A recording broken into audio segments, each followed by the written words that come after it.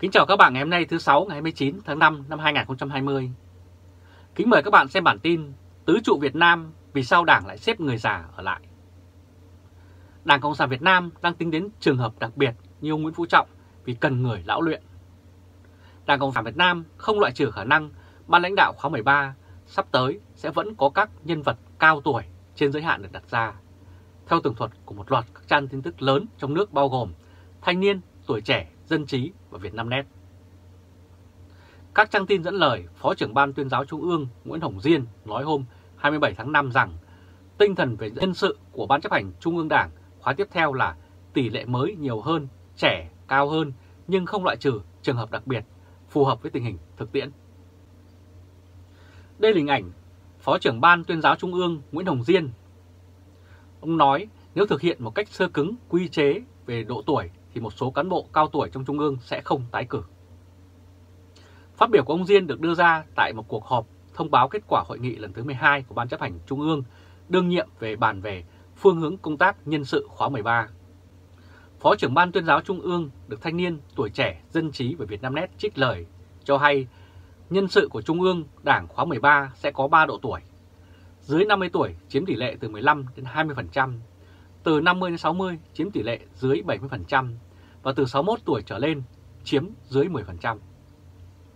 Số lượng ủy viên Trung ương khóa tới sẽ vẫn như khóa 12 là khoảng 200 người, trong đó có 180 ủy viên chính thức và 20 ủy viên dự khuyết. Tương tự con số ủy viên Bộ Chính trị nhiều khả năng vẫn trong khoảng từ 17 đến 19 ủy viên. Ban Bí thư từ 12 đến 13 ủy viên. Phó trưởng ban tuyên giáo Nguyễn Hồng Diên cho biết như vậy. Tuy nhiên, các độ tuổi được đặt ra, xong ông Diên nói rằng việc vận dụng độ tuổi với một số ủy viên Trung ương phải thật sự linh hoạt dựa trên bài học rút ra từ công tác nhân sự tại hội đảng lần thứ 12 cũng như từ các khóa trước. Nhà lãnh đạo Nguyễn Phú Trọng được quan chức tuyên giáo dẫn ra là một ví dụ nổi bật trong trường hợp ngoại lệ mặc dù tuổi trong khóa 12 khá cao, theo tường thuật của báo chí trong nước. Và tờ báo trong nước còn viết, đặc biệt là người đứng đầu Tổng bí thư Chủ tịch nước Nguyễn Phú Trọng, trường hợp đặc biệt này là hạnh phúc của Đảng, dân tộc. Phó trưởng ban tuyên giáo đã phát biểu như vậy, và theo trích dẫn trên báo Thanh niên, Tuổi trẻ, Dân trí và cả miền Nam Net. Và Tổng bí thư là một trung tâm đoàn kết của Ban chấp hành Trung ương để lãnh đạo tập thể Bộ Chính trị, Ban bí thư và quyết định nhiều vấn đề chỉ đạo điều hành đất nước trên cả nước gặt hái được những thành quả to lớn.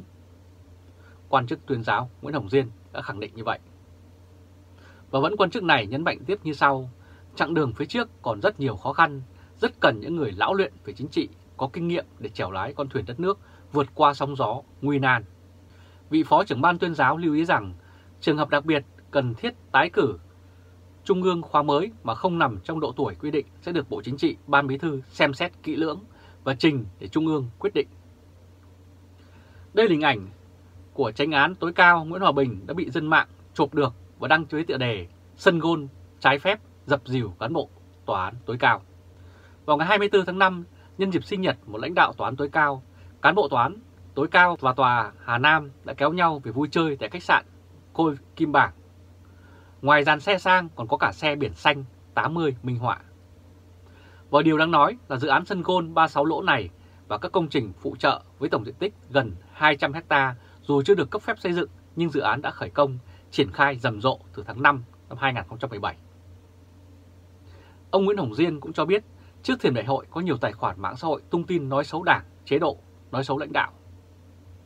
Phản động nói xấu không vội lo vì nói xấu mình thì mình đứng về phía nhân dân, họ khen mình chẳng hạn thì hết sức cảnh giác.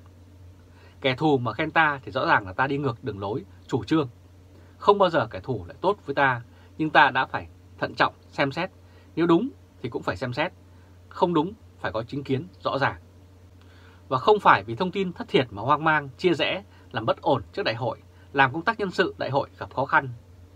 Một nhà quan sát đã nói với BBC, ông ngạc nhiên khi nghe phát biểu của một quan chức về dân tộc, hạnh phúc khi có trường hợp đặc biệt về tuổi như Tổng Bí Thư. Bình luận với đài BBC tại London, Phó giáo sư tiến sĩ Phạm Quý Thọ, nguyên chủ nhiệm khoa chính sách công, Học viện Chính sách và Phát triển nói như sau. Không chỉ tôi mà nhiều người quan sát đang theo dõi việc chuẩn bị cho đại hội lần thứ 13 của Đảng Cộng sản Việt Nam cảm thấy khá ngạc nhiên. Bản thân tôi không thể tin vào mắt và tai của mình khi đọc và nghe phát biểu mới đây của ông Phó trưởng ban tuyên giáo Trung ương được đưa trên báo chí truyền thông Việt Nam nói rằng trường hợp đặc biệt về tuổi như Tổng Bí Thư là hạnh phúc của Đảng, của dân tộc. Và ông Phó trưởng ban Nguyễn Hồng Diên nhấn mạnh rằng bài học khóa 12 cho thấy nếu thực hiện một cách sơ cứng quy định về độ tuổi thì một số cán bộ cao tuổi trong Ban chấp hành Trung ương sẽ không tái cử. Theo nhà nghiên cứu này, đây có thể là một dấu hiệu cho thấy tại Đại hội 13 năm 2021 của Đảng Cộng sản Việt Nam, ít nhất một trường hợp quá tuổi, đặc biệt là hàng tứ trụ có thể sẽ được xem xét, áp dụng để có thể tiếp tục ở lại. Ông nói tiếp, tôi không đi vào những cái tên cụ thể, mặc dù cũng có những người cho rằng khả năng vị đương kim nào đó đăng kiêm hai chức vụ trong tứ trụ có thể sẽ nghỉ do tuổi tác và sức khỏe, hay hiếm khi một lãnh tụ là phụ nữ có thể ngồi vào chiếc ghế tổng bí thư của đảng, vốn lâu nay là chỗ của lãnh đạo là nam giới. Đương nhiên cũng có nhiều phương án khác nhau nếu mở rộng hơn ra Bộ Chính trị, Ban Bí thư, nhưng tôi cho rằng thứ nhất, đây là tín hiệu mới, rõ ràng hơn của hậu Hội nghị Ban chấp hành Trung ương Đảng Cộng sản của Việt Nam lần thứ 12. Đây là hình ảnh Tổng Bí thư Nguyễn Phú Trọng với phát biểu tại Hội nghị cán bộ toàn quốc ngày 23 tháng 4 là không để lọt vào Trung ương cán bộ giàu nhanh, nhiều nhà, nhiều đất. Có thể đây là lần đầu tiên một cấp lãnh đạo của ban quan trọng của Trung ương Đảng trực tiếp lên tiếng và đề cập một cách khá rõ ràng về tiêu chí linh hoạt, linh động đối với tiêu chí chuẩn tuổi và tuổi tác này. Thứ hai, việc này có thể gián tiếp gợi ý rằng có thể sẽ có sự tái áp dụng việc linh hoạt hóa tiêu chí về tuổi tác này như kinh nghiệm đã cho thấy ở Đại hội Đảng lần thứ 12. Tại Đại hội sang năm của Đảng Cộng sản Việt Nam thì như thế nào? Ông nói tiếp, nhưng suy nghĩ ban đầu của tôi là với một số trường hợp cụ thể nào đó, cần lưu ý cả hai tiêu chí về tuổi tác đi liền với sức khỏe. Cần xem xét nếu tuổi tác cao nhưng sức khỏe còn đảm bảo thì có thể vẫn khả thi, nhưng nếu sức khỏe không đảm bảo thì có thể thực hiện được công việc phục vụ Đảng, Nhà nước và nhân dân được nữa hay không? Khỏe mạnh và xứng đáng như thế nào?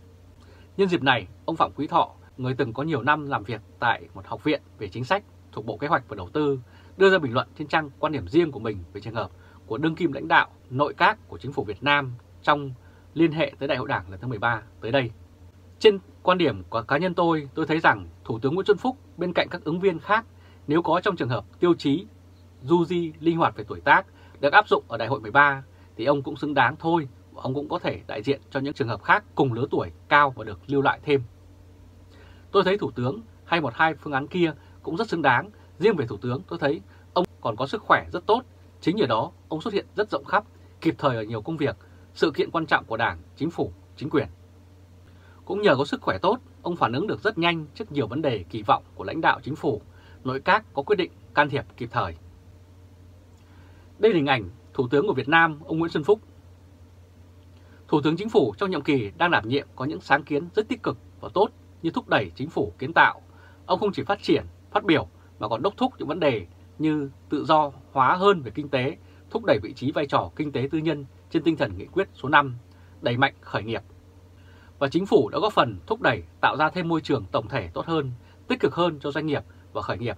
Thành ra tôi nghĩ là Thủ tướng Nguyễn Xuân Phúc nếu được đại hội đề nghị làm một trường hợp đặc biệt thì cá nhân tôi cũng ủng hộ và tôi luôn cho là xứng đáng thôi. Và đó là quan điểm của nhà bình luận này. Cần nhà làm lý luận hay người tài cũng một câu hỏi đặt ra trước câu hỏi về một tiêu chí khác đôi khi cho là bất thành văn, đó là tiêu chuẩn về vùng miền với tứ trụ thì sao, có liên hệ thế nào? Ông Phạm Quý Thọ bình luận tiếp như sau. Tiêu chí bất thành văn rằng Tổng bí thư của Đảng Cộng sản Việt Nam phải là người miền Bắc, Chủ tịch nước phải là người miền Trung và Thủ tướng phải là người miền Nam. Theo tôi, những kỳ gần đây đều không đặt nặng.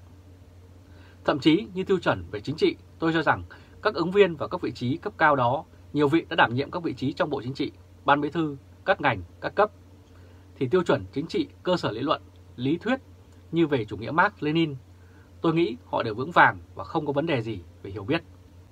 Và điều quan trọng theo tôi là làm sao anh có thể sử dụng được người tài, chứ còn cần gì đến việc một người phải làm được tất cả mọi việc trong đó có việc là nhà lý luận cao cấp với một học thuyết nào đó. Phó giáo sư tiến sĩ Phạm Quý Thọ đưa ra quan điểm của mình như vậy. Đây là hình ảnh ông Trần Quốc Vượng, Ủy viên Bộ Chính trị, Thường trực Ban Bí thư. Vào hôm 11 tháng 5, báo điện tử của Đảng Cộng sản Việt Nam trích dẫn phát biểu khai mạc và chỉ đạo hội nghị của Tổng Bí thư, Chủ tịch nước Nguyễn Phú Trọng. Theo đó, nói như sau. Tôi đề nghị mỗi đồng chí Ủy viên Trung ương cần nhận thức đầy đủ vị trí, ý nghĩa to lớn của công việc hệ trọng này, tập trung thảo luận phân tích làm sâu sắc các nội dung trên. Cần lưu ý nhấn mạnh thêm các vấn đề gì, những khâu nào, phải chăng về tiêu chuẩn của Ủy viên Ban chấp hành Trung ương, Bộ Chính trị, Ban Bí thư trong thời điểm hiện nay cần nhấn mạnh phải có bản lĩnh chính trị thật vững vàng, kiên định mục tiêu độc lập dân tộc và chủ nghĩa xã hội, tuyệt đối trung thành với chủ nghĩa Mark Lenin và tư tưởng Hồ Chí Minh, và cương lĩnh đường lối của Đảng, hiến pháp của nhà nước và lợi ích của quốc gia, dân tộc, có phẩm chất đạo đức và lối sống trong sáng, thật sự gương mẫu, không tham nhũng, cơ hội, tham vọng quyền lực, có ý thức giữ gìn và bảo vệ sự đoàn kết, thống nhất trong Đảng, được quần chúng tin cậy và tín nhiệm. Trong công tác nhân sự và chuẩn bị nhân sự, phải chăng cần nhấn mạnh phải có tinh thần trách nhiệm rất cao, thật sự khách quan, thật sự công tâm, trong sáng, gương mẫu, chấp hành các nguyên tắc, tổ chức, quy chế, quy định của Đảng, đặt sự nghiệp chung của Đảng, của đất nước, của dân tộc lên trên hết, trước hết. Kiên quyết chống mọi biểu hiện của chủ nghĩa cá nhân, cơ hội, cục bộ, bè phái, lợi ích nhóm, chạy chức và chạy quyền. Còn phương án tứ trụ thì đang được tính toán ra sao? Mô hình bộ máy quyền lực của các phương án nhân sự, lãnh đạo cao cấp ngay trước và trong Hội nghị Trung ương 12 diễn ra là một chủ đề được quan tâm trong giới quan sát và phân tích chính trị ở Việt Nam. Vào hôm 8 tháng 5, trên trang nghiên cứu quốc tế, tiến sĩ Lê Hồng Hiệp, nhà nghiên cứu thuộc Viện Nghiên cứu Đông Nam Á của Singapore đã đưa ra một số nhận định như sau. Việc quay lại mô hình tứ trụ cũng có khả năng được Bộ Chính trị và Ủy ban Trung ương Đảng nhiệm kỳ mới ủng hộ. Số lượng ủy viên Bộ Chính trị tiếp theo vẫn chưa được xác định bao nhiêu, tuy nhiên con số này nhiều khả năng nằm trong khoảng từ 15 đến 19 như các kỳ đại hội gần đây.